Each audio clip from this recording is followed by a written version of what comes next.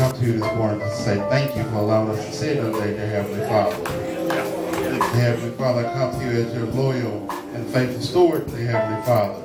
Dear Heavenly Father, use me as you see fit, dear Heavenly Father. Dear Heavenly Father, I pray that your word falls fresh on me, dear Heavenly Father, and as you preach your word this morning, dear Heavenly Father, that it falls fresh on fresh soil, dear Heavenly Father. Dear Heavenly Father, bless this congregation, dear Heavenly Father, the officers, Heavenly Father, this pastor and his lovely family, Heavenly Father, the minister and his family as well, Heavenly Father, and also bless my family, Heavenly Father. Heavenly Father, once again, we just want to say thank you for just being God and God all by yourself. In Jesus' name we pray.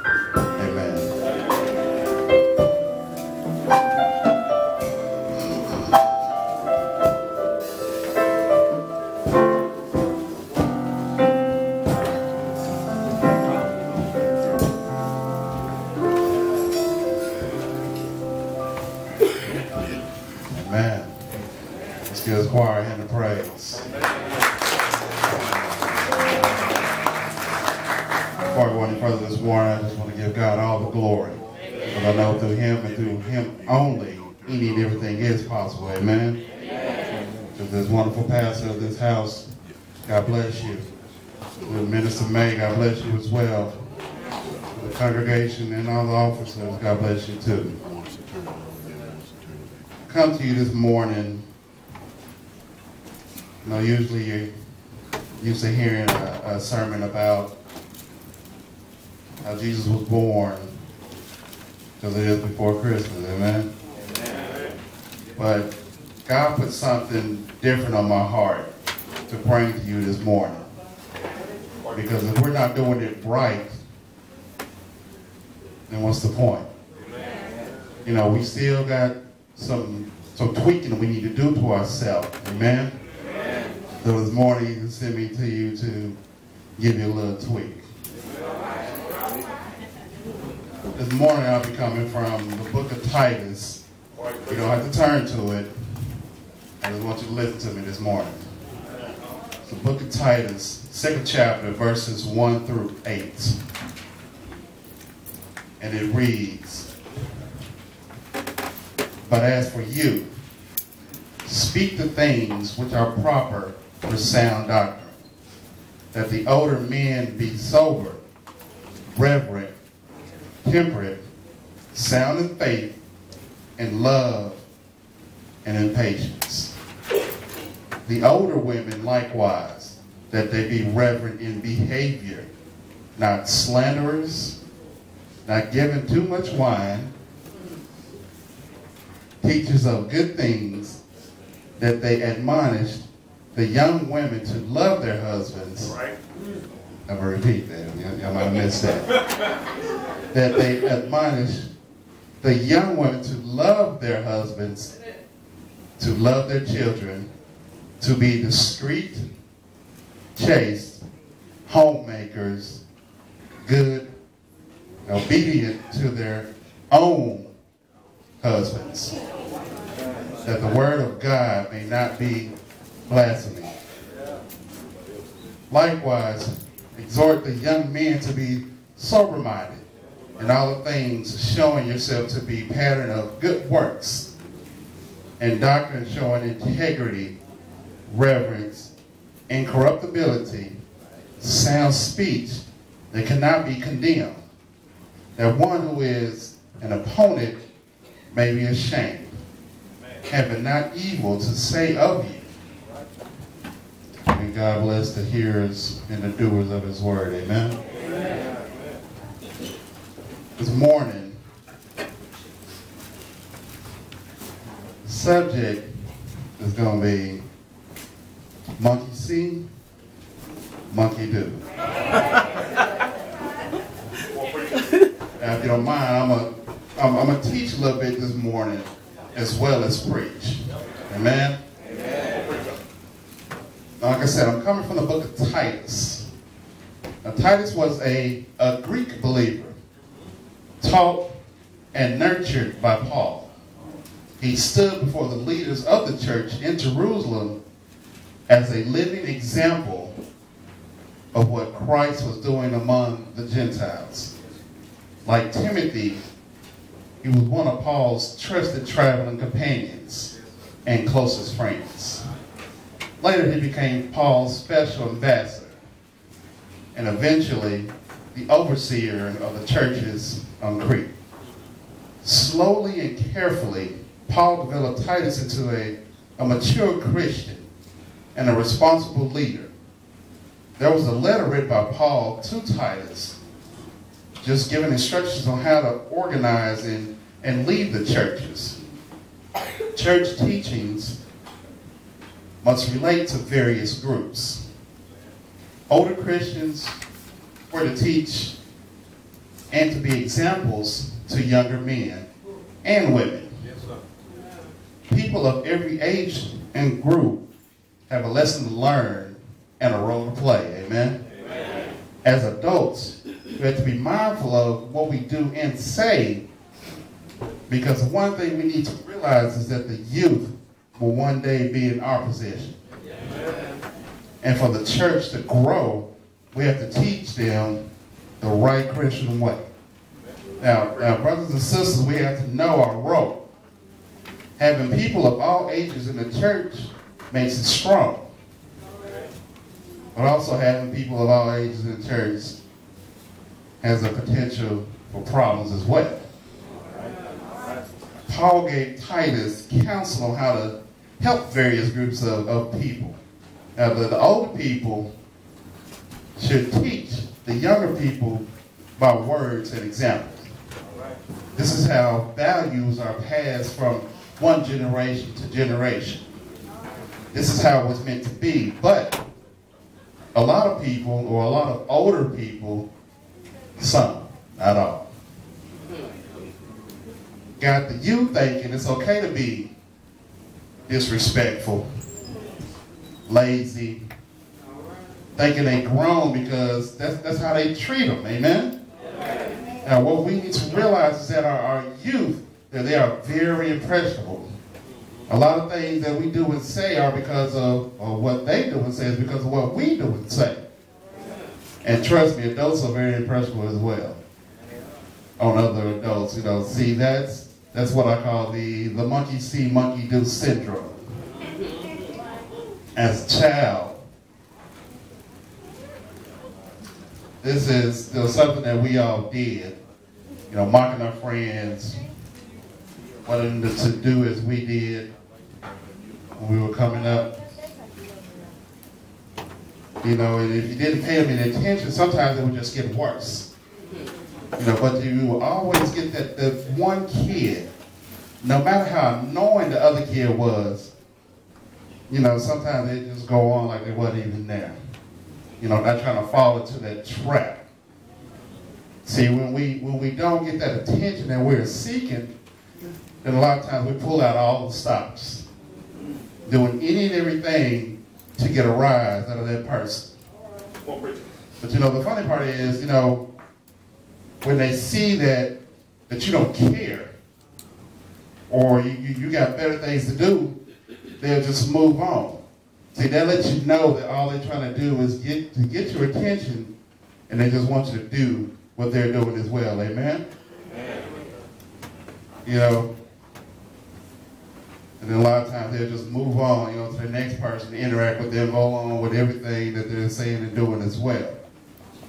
And I know that, that we all remember, you know, kids like that, you know, just got on your nerves, you know, all the time. But what if I told you that we're talking about adults here instead of kids? Mm. See, it's about being mature. And as adults, most of us are not mature spiritually. And we have a tendency to act as such, like kids, or acting like uh, what, what, what you call the Pharisees. You know, wanting people to believe what they believed in, wanting people to lean on their every word. But instead of calling them Pharisees, nowadays they call them church cliques. Yeah.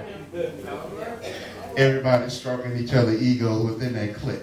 And so it's that monkey see, monkey do syndrome again Now, brothers and sisters, you know, as we look at, I'm going to go down to verses 1 through 5. And it states, But as for you, speak the things which are proper for sound doctrine, that the older men be sober, reverent, temperate, sound in faith, in love, and patience. The older women likewise, that they be reverent in behavior, not slanderers, not giving too much wine, teachers of good things, that they admonish the young men to love their husbands, to love their children, to be discreet, chaste, homemakers, good, and obedient to their own husbands, that the word of God may not be blasphemed. Now, many of these characters could be under the heading of, of self-control. Now, self-control was an important aspect in early Christianity. The Christian community, community, excuse me, was made up of people from differing backgrounds and viewpoints, making conflict inevitable. Christians existed in a heathen and often hostile world. To stay above reproach, men and women needed wisdom of discernment to be discreet and to master their wills, tongues, and passions so that Christ would not be dishonored. Uh, states here in Ephesians 5.22, Wives, submit to your own husbands as to the Lord. Submitting to, to another person is an often misunderstood concept. It doesn't mean that, that you should become like a doormat or a puppet for someone else's gain. Christ, at whose name that every knee should bow of those in heaven, on the earth, and under the earth, submitted to his will to the Father, and we honor Christ by following his example. Amen. When we submit to God, we become more willing to obey his command, to submit to others, that is, to subordinate our rights to theirs. Amen. Basically, that's saying putting others before yourself. Right. In a marriage relationship, both husband and wife are called to submit. Let me let me go back. And let me make sure I'm reading this right. In a marriage relationship, both a husband and wife are called to submit. For the wife, this means willingly following her husband's following her husband about the church anymore. And a lot of people, you know, they come to church, it's always about the negative that keeps us coming back. Uh, the, the, the drama. What's going on in the choir this week? Yeah, yeah, you know, what, know I have. What the pastor, the minister said this week. What's going on with the deacons? You know, it's, it's always something going on to the, to the church that'll keep a person coming back. It's not the word. You know, it's not the fact that yeah. Choir blowing the roof off this joint. You know, it's, it's always drama that draws you back. And see, Paul urged Titus to be to be a good example to those around him, so that others might see Titus's good work and imitate him. Paul's life gave his words greater impact. If you want someone to act a certain way, be sure that you live that way yourself. Amen? Amen. Now, then you will earn the right to be heard, maybe. You know, but your life will reinforce what you teach. See, brothers and sisters, you know, we gotta we gotta get away from from that syndrome, you know, and start setting standards or some standards that is pleasing to God. And, you know, and I said, you know, and I tell you earlier, I'm, I'm pretty short and I'm straight to the point. You know, I, I give what God gives. You know, I'm not a procrastinator. So I was like, you ready to take my seat? Yeah. you know, just, I just want to say that, that Paul counseled Titus to be, you know, above criticism. You know, and how he how he taught. This quality of integrity comes from careful, careful Bible study and listening before you speak. If we are impulsive, unreasonable, and confusing, we are likely to start arguments rather than to convince people of the truth. swing on. Like I said, I'm, I'm real quick with it. All right. Like you're ready to take my seat. I'm gonna just tell you about a friend of mine that's not confused, that's not impulsive, unreasonable, and that's our Lord and Savior Jesus Christ. Amen. there's no confusion when He wakes me up in the morning. No confusion when I'm fed, clothed, sheltered, able to get up and walk and talk. See, a lot of us get confused, but it's not about what we want, how we want it, or when we want it. It's when He wants it, how He wants it, and how God wants it. Amen. Now, sweetheart, before I take my seat, I just want to remind you of one thing.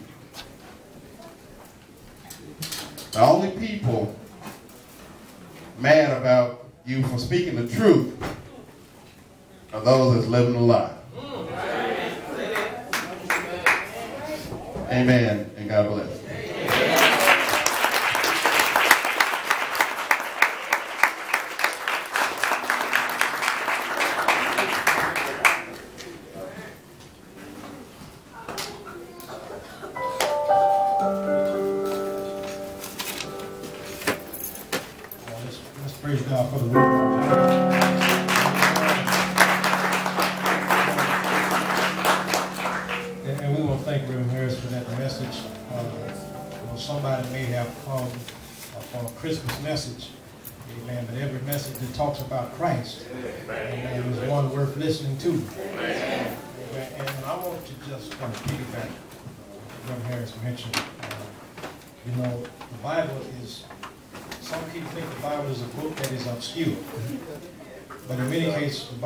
Just as plain as we allow it to be.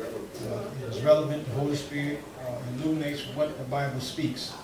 And in the text that uh, uh Pastor uh, Harris mentioned about the older men and the older women teaching the younger men and the younger women, uh, I want to share something with you from Judges chapter 2. I'm not going to preach again, but there's something that we need to just look at. In Judges chapter 2, verse 8 says, And Joshua the son of Nun, the servant of the Lord, died, being 110 years old. And they buried him in the border of his inheritance in Timnah Heres, in the Mount of Ephraim, on the north side of, of the hill Gaash. And verse 10 says this, And also all that generation were gathered up unto their fathers. And there arose another generation after them, which knew not the Lord, nor yet the works which he had done for Israel.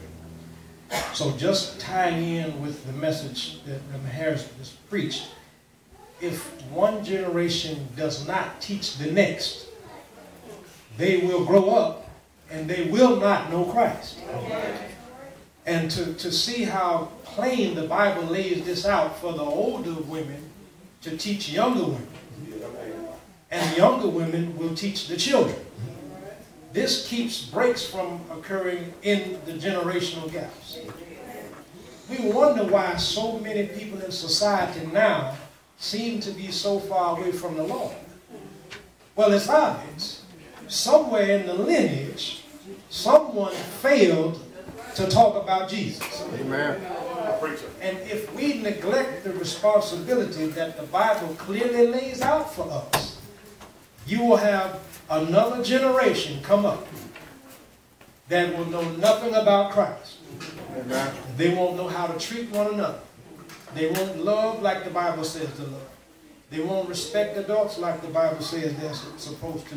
It's right here in the text, and we can see it happening now.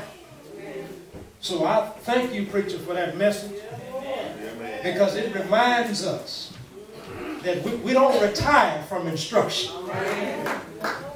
if, if we got mothers in the church, the mothers in the church need to talk to the younger women in the church. And the younger women in the church set the example for the young ladies, the young girl, teenagers in the church. And as they begin to live Christ-like, their, their siblings will see them doing what's right. It continues on. It is a process that continues on from generation to generation. And if the ball is ever dropped, there will be those that come up that know nothing about the Lord. So we thank God for the word on this morning. Come on, let's praise God for the Harris.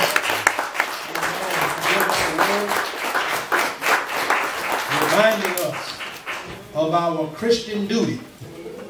It's more to it than just being saved. We thank God for salvation, but we were saved to go work for the Lord.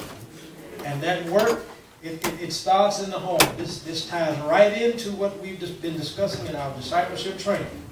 You know, we teach our children. They teach their children.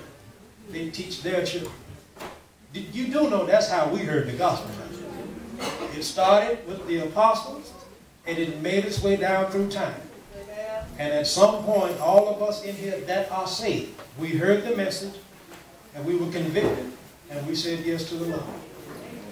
And just in case there's someone here this morning who has not said yes to the Lord, today is a great day for you to give your life to the Lord after hearing the message. We heard about Christ. We, know that there's a responsibility to all of us. Someone has been contemplating on a decision. There's no better time than right now to give your life to the Lord. If you're here this morning you feel the conviction of the Holy Spirit, you can come by letter, Christian experience, or for baptism. But all the Lord wants you to do is come. Would there be one?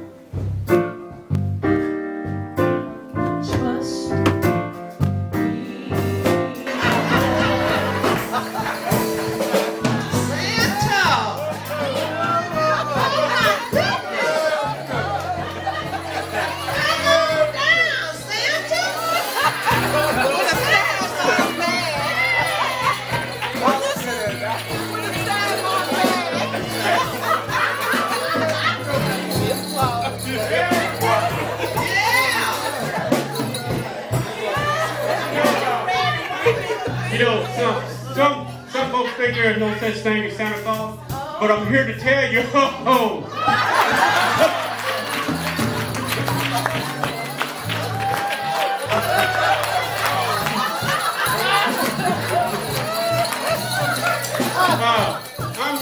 you know, Santa Claus is so much like Christ.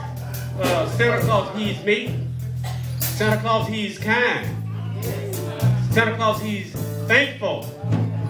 And Santa Claus, whether you're naughty or nice, he'll bring you a gift anyway. So that's that's Christ like. Amen.